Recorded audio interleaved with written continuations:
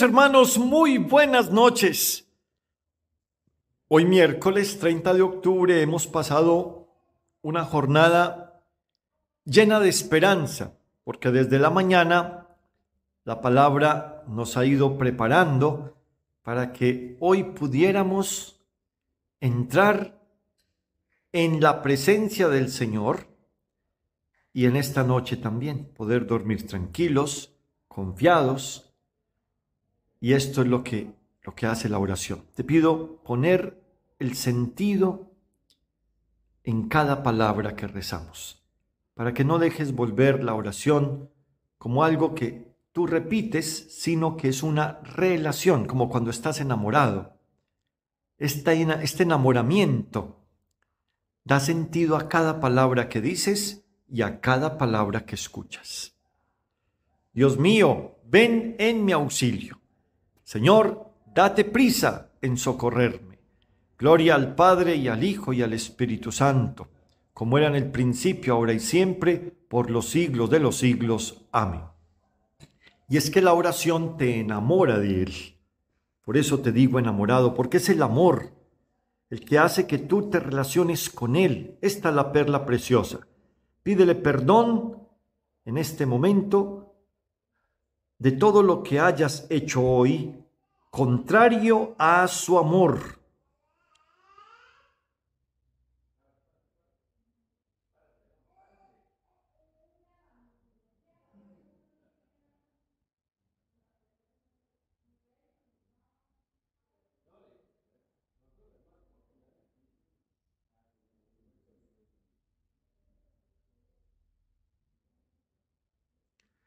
Señor, ten misericordia de nosotros porque hemos pecado contra ti. Muéstranos, Señor, tu misericordia y danos tu salvación. Dios Todopoderoso, tenga misericordia de nosotros, perdone nuestros pecados y nos lleve a la vida eterna. Amén.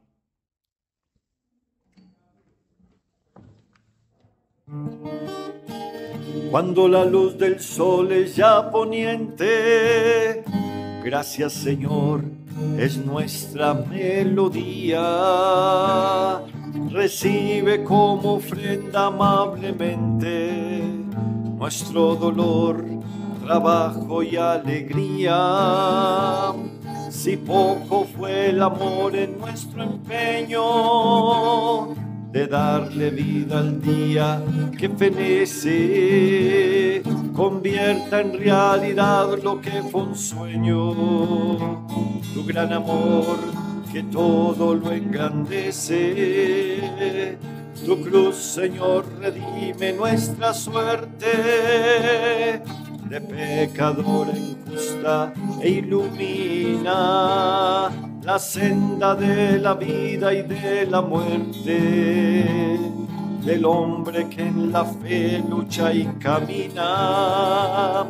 Jesús, Hijo del Padre, cuando avanza la noche oscura sobre nuestro día, concédenos la paz y la esperanza de esperar cada noche tu gran día.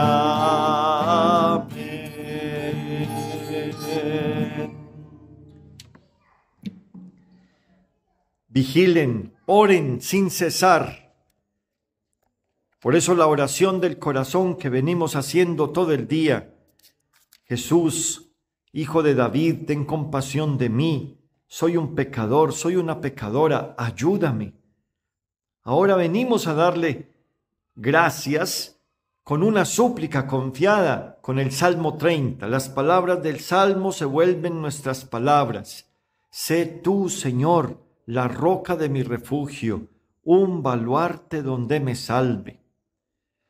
A ti, Señor, me acojo, no quede yo nunca defraudado. Tú que eres justo, ponme a salvo, inclina tu oído hacia mí. Ven a prisa a librarme, sé la roca de mi refugio, un baluarte donde me salve, tú que eres mi roca y mi baluarte. Por tu nombre dirígeme y guíame, sácame de la red que me han tendido, porque tú eres mi amparo. En tus manos encomiendo mi espíritu, tú el Dios leal, me librarás.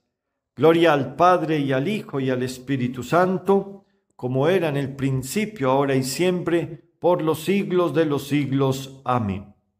Sé tú, Señor, la roca de mi refugio, un baluarte donde me salve. Y el Salmo 129 nos hace orar desde nuestras entrañas. Y al hacer estas palabras tuyas, propias, llega un consuelo y una fuerza a tu alma. Desde lo hondo a ti grito, Señor. Señor, escucha mi voz. Estén tus oídos atentos a la voz de mi súplica. Si llevas cuenta de los delitos, Señor, ¿quién podrá resistir? Pero de ti procede el perdón y así infunde respeto. Mi alma espera en el Señor, espera en su palabra. Mi alma aguarda al Señor más que el centinela la aurora. Aguarda Israel al Señor como el centinela la aurora, porque del Señor viene la misericordia, la redención copiosa y él redimirá a Israel de todos sus delitos. Gloria al Padre y al Hijo y al Espíritu Santo, como era en el principio, ahora y siempre, por los siglos de los siglos. Amén. Desde lo hondo a ti grito, Señor. Y viene la palabra de Efesios en el capítulo 4, versículo 26 que podamos hacerlas vida en cada uno de nosotros. No lleguen a pecar. Que la puesta del sol no los sorprenda en su enojo. No dejen lugar al diablo. No dejen lugar al diablo. El diablo divide, divide las relaciones en tu hogar, tu vida. Tu corazón se puede dividir con la idolatría, ponerle confianza a otras cosas, personas, animales, cosas. Por eso no dejes lugar al diablo, no llegues a pecar. En tus manos, Señor, encomiendo mi espíritu. Tú, el Dios leal, no librarás. Te encomiendo mi espíritu. Gloria al Padre y al Hijo y al Espíritu Santo. En tus manos, Señor, encomiendo mi espíritu. Sálvanos, Señor, despiertos, protégenos mientras dormimos, para que velemos con Cristo y descansemos en paz. Ahora, Señor, según tu promesa, puedes dejar a tu siervo irse en paz, porque mis ojos han visto a tu Salvador, a quien has presentado ante todos los pueblos, luz para alumbrar a las naciones y gloria de tu pueblo Israel. Gloria al Padre y al Hijo y al Espíritu Santo, como era en el principio, ahora y siempre, por los siglos de los siglos. Amén. Sálvanos, Señor, despiertos, protégenos mientras dormimos, para que velemos con Cristo y descansemos en paz. Oremos.